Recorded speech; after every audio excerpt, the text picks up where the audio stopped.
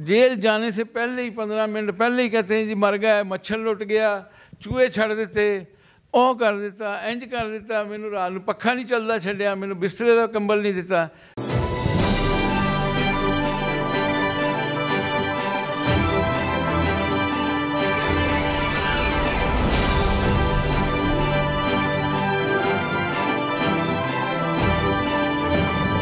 अस्सलाम वालेकुम मैं मोहम्मद इमरान आई साहिवाल में इमरान खान के एक ऐसे कैंडिडेट के साथ मौजूद हैं जिन्होंने खान का उस वक्त साथ दिया जब खान के अपने वफादार साथी और करीबी साथियों ने पीटीआई को अलविदा कर दिया।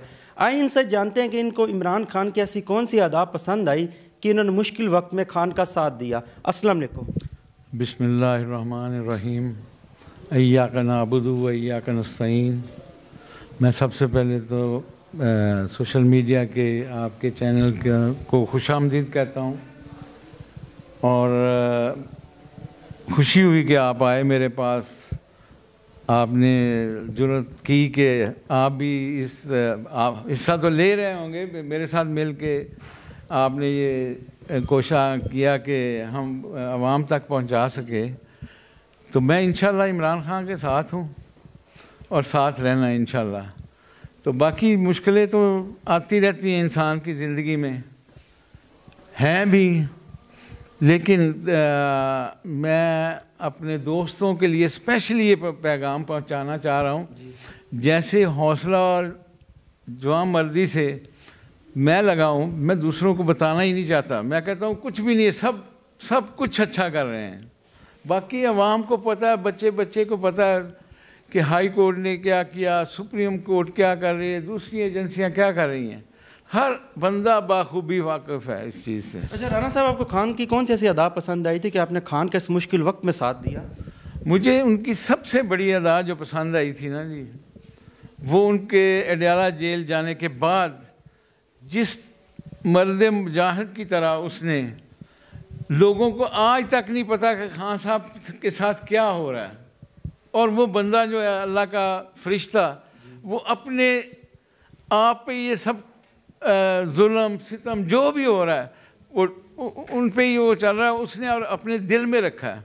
इस चीज़ को देखते हुए मैंने, वरना कोई भी और सियासतदान होता, ये तो जेल जाने से पहले ही, पंद्रह मिनट पहले ही कहते हैं, जी मर गया, मच्छर लुट गया, चूहे छड़ देते ਉਹ ਕਰ ਦਿੱਤਾ ਇੰਜ ਕਰ ਦਿੱਤਾ ਮੈਨੂੰ ਰਾਤ ਨੂੰ ਪੱਖਾ नहीं चलता ਛੱਡਿਆ ਮੈਨੂੰ ਬਿਸਤਰੇ ਦਾ ਕੰਬਲ नहीं ਦਿੱਤਾ लेकिन आपने मुझे फ़ख्र है इस बात पे खां पे आज भी फ़ख्र है कि किसी बंदे ने ये नहीं सुना होगा कि इमरान खान साहब ने कहा जी मेरी ये मुश्किल आई हैं इसी तरह उनको देखते हुए मेरे पास जितनी भी मुश्किल आएंगी मैं अपने आवाम को परेशान नहीं करूँगा। उनको साहब आपके बानी के जो पार्टी थी उससे बल्ला छिन चुका है और आपको भी बल्ला नहीं मिला आपको प्याला मिला है। क्या आप समझते हैं कि वोट में फ़र्क आएगा इस चीज़ से? नहीं मेरा ख्याल नहीं आएगा इन जिस जज्बे से जिस मोहब्बत से समझदार लोग और हमारे अल्लाह का शुक्र है पा, पाकिस्तान के लोग जितने मतलब शूर रखते हैं इवन दोज के तलीम ना होने के बराबर है। लेकिन इसके बाद लोग इतना शौर रखते हैं कि हर बंदे को इंशाल्लाह पता रहे ये बल्ला छीन ले जो जो भी मर्ज़ी कर रहे हैं। अल्लाह ताला बस उनकी ज़िंदगी करे और उनको सेहत तंदरुस्ती दे। कोई भी चीज़ करने ये अब ये जो आया हुआ तूफ़ान है ना रुकेगा नहीं। अच्छा पीपल पार्टी के जाले तो बड़े मज़बूत होते हैं और बड़े जियो भुट्टो के नारे लगाते हैं। आपने जियो भुट्टो क्यों छोड़ा?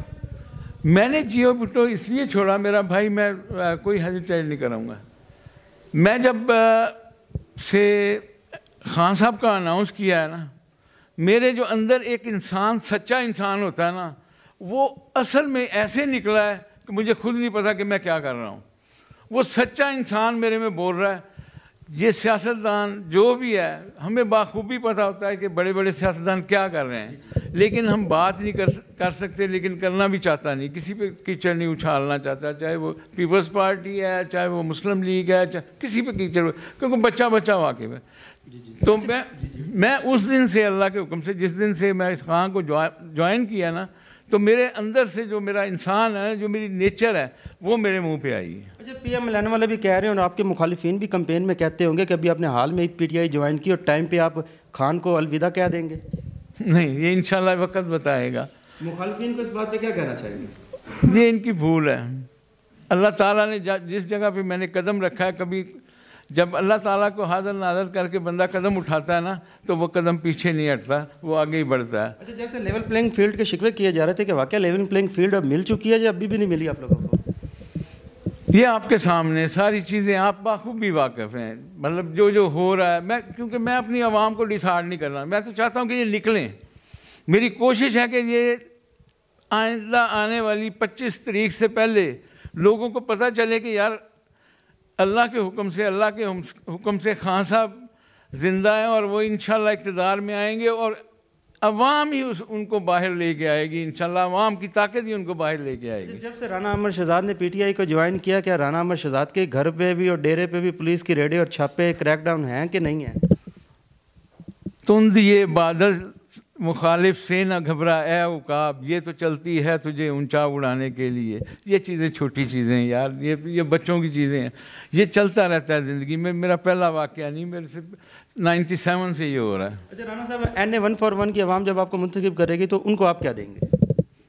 अपना प्यारा सा फरिश्ते नुमा इमरान खान। क्या आप समझते हैं कि खान साहब हुकूमत बनाने में कामयाब हो जाएँगे? इन अल्लाह के हुक्म से। क्या खान साहब के साथ जेल में आपकी कोई मुलाकात भी हुई है? ये कॉन्फिडेंशियल है यार। मतलब ज़ाहिर है मैं अगर उनसे इतना प्यार करता हूँ उतने नज़दीक गया हूँ तो मैं कह रहा हूँ ये बातें।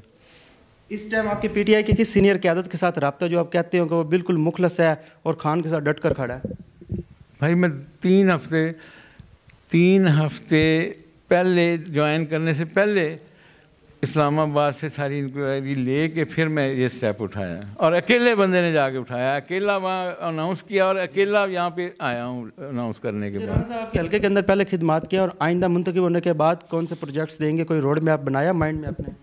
यार ये रोड गलियाँ सीवरेज ये छोटी छोटी मेरे लिए चीज़ें हैं। मैं अल्लाह के हुक्म से अपनी ईसाई वाल की कौम को बनाऊँगा। अच्छा एन एक सौ इकतालीस की आवाम को क्या पैगाम देना चाहेंगे? मैं उनको यही पैगाम देना चाहूँगा कि आज से, जब से पाकिस्तान बना है, उन्नीस के बाद आज तक हमें आज़ादी नहीं हुई। और आज भी हम चादर और चार दीवारी में महफूज नहीं है। इवन दोस्त के, हम अपने मुल्क, अपने घर में बैठे हुए हैं। तो मेरे भाइयों, निकलो, इमरान का साथ दो और इन इन अल्लाह के हुक्म से अल्लाह ताला हमें इन जो नासूर लोग हैं उनसे आज़ादी दिलवाएगा सबसे पहले तो ये सुनने में आ रहा था कि पीटीआई को इलेक्शन से आउट कर दिया जाएगा लेकिन अब नज़र भी आया कि पीटीआई को आउट कर दिया गया इलेक्शनों से कि ऐसे आगे भी अगर किया जाता है और इमरान खान को इलेक्शन से और भी मजीद आउट किया जाता है और आप लोगों को हरवाने की कोशिश की जाती है तो आप लोगों का अगले लाई अमल क्या होगा? ये हमारे लिए इनकी बदकिस्मती अगर अब भी ऐसा करेंगे तो ये समुंदर से बढ़कर तूफ़ान बन जाएगा और स्वामी बन जाएगा ये अवाम और सुप्रीम कोर्ट के फैसले से मुतमिन है। आपको पता है कि कोई भी किसी फैसले से मुतमिन नहीं। जब तक खान साहब बाहर नहीं आएँगे हम किसी फैसले से मुतमिन नहीं पाकिस्तान? जिंदाबाद तरीके इंसाफ पाए जिंदाबाद।